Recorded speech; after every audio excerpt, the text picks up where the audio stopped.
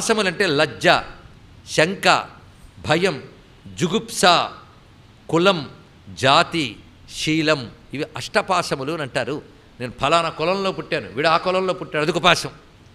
వీటన్నిటితో మనం అంటుకుపోయి శుద్ధమైన సస్వరూపాన్ని తెలుసుకోలేకపోతున్నాం. దేహం వల్ల వచ్చినటువంటి లక్షణాలు ఇవన్నీ. కానీ దేహం వల్ల వచ్చిన లజ్జ శంక భయము జుగుప్స కులం జాతి శీలం వీటన్నిటితో బంధితులమై. అలాగనవన్నీ చట్పట్మని తెంచేసి ఇష్టానుసారం ప్రవర్తించమని కాదు.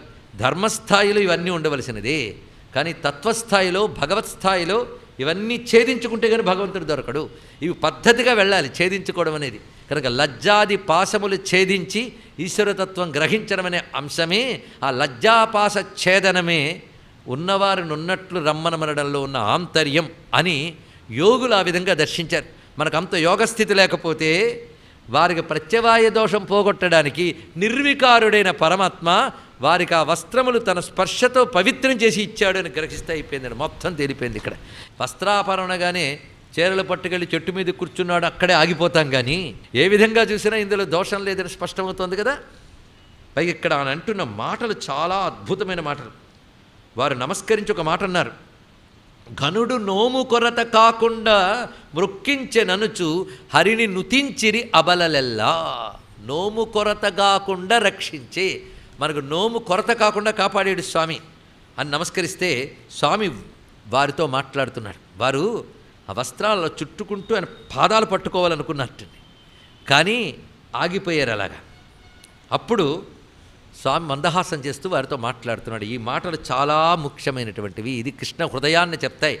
వస్త్రాపరణగానే చీరలు పట్టుకెళ్ళి చెట్టు మీద కూర్చున్నాడు అక్కడే ఆగిపోతాం కానీ ఆ సంభాషణ ఏమిటి? అసలు ఎవరి యొక్క వస్త్రములైన అపహరించాడు? వారెవరు? ఆ వెనకాల ఏం చేశారు? ఇవన్నీ తెలుసుకోవాలండి ఇక్కడ. ఇప్పుడు వారితో స్వామి మాట్లాడుతున్న మాటలు. వారేం చెప్పలేదు స్వామితో ఒక్క విషయం కూడా. మేము ఫలానా ఉద్దేశంతో వ్రతం చేస్తున్నామని చెప్పలేదు. ఆయనకి చెప్పాలా? సంకల్పో విదిత సాధ్వ్యో భవతి నా మదర్చనం మయానుమోదిత సోసౌ సత్యో భవితుమర్హతి. ఈ మాటల్లో నెల్లాళ్ళ వ్రతానికి స్వామి ఫలితమిస్తున్నాడన్నది స్పష్టమైపోతుంది. ఇక్కడ వ్రత ఫలం వాళ్ళకి దక్కిందండి. ఏమంటున్నాడంటే సాధ్వ్య ఇది సంబోధన. ఎంత విశేషమైన సంబోధన చూసారా సాధ్వ్య అంటే ఓ పుణ్యవతులారా చక్కని మార్గంలో ఉన్నటువంటి వారు మీరు అన్నాడు. అంటే వారు సన్మార్గంలో ఉన్న మహాత్ములు అది చెప్పడం ఆ మాటలో ఉన్నటువంటి అంశం. అందుకని మార్గం తప్పిన వారు కాదు మార్గంలో ఉన్నటువంటి వారు. అలాంటి వారు మీరు. భవతీనాం ఎంత గౌరవంగా మాట్లాడుతున్నారు చూడండి. భవతీనాం అంటే పూజ్యులైన మీ యొక్క అని అర్థం. గౌరవవాచకం అండి. తమరి యొక్క అన్నట్టు. పూజ్యులైన మీ యొక్క సంకల్పము నాకై మీరు చేసిన అర్చనము నాకు తెలుసు అన్నాడు. ఈయనకి అర్చన చేశారు వాళ్ళు. ఎవరికి చేశారు? కాత్యాయనికి ఈయనకే చేశారట అది ఇక్కడ. అంటే తద్రూపముగా కృష్ణుని ఆరాధించారు కృష్ణుని కోసం ఆరాధించారు. కనుక మీ సంకల్పము మీరు నాకై చేసిన అర్చనము ఈ రెండూ నాకు తెలుసు. అంతేకాదు నేను మీ సంకల్పాన్ని ఆమోదించాను అన్నాడు ఇక్కడ. పరమేశ్వర ప్రీత్యర్థమని మీరు సంకల్పిస్తారు. కానీ ఆయన ఆమోదించద్దు ప్రీతి చెందొద్దు.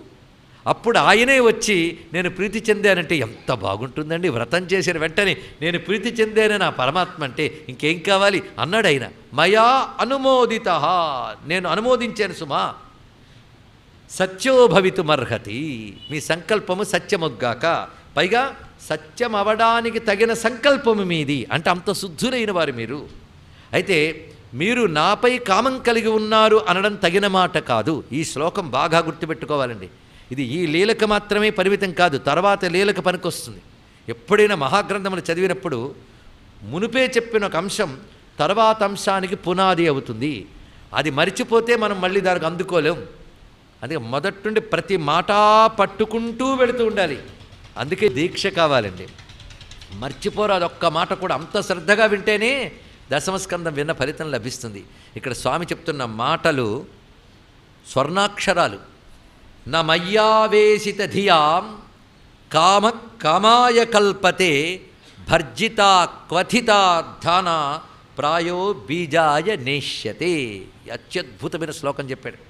నా మయ్యావేశిత ధియాం మయి ఆవేశిత ధియాం నాయందు ప్రవేశించిన బుద్ధి ఎవరికుందో వారికి. ఆ మాట ఎంత అద్భుతంగా చెప్పాడు. ఆవేశం అంటే సంపూర్ణంగా నిలిచిపోతే అది ఆవేశం. ఎవరి యందు నిలిచిపోయింది? నాయందు కానీ ఎవరికి నాయందు సంపూర్ణంగా బుద్ధి నిలిచి ఉంటుందో అటువంటి వారు నాపై పెట్టుకున్నటువంటి కోరిక కోరిక కిందకి రాదు సుమా అన్నాడు. ఇది ఎలాంటిది?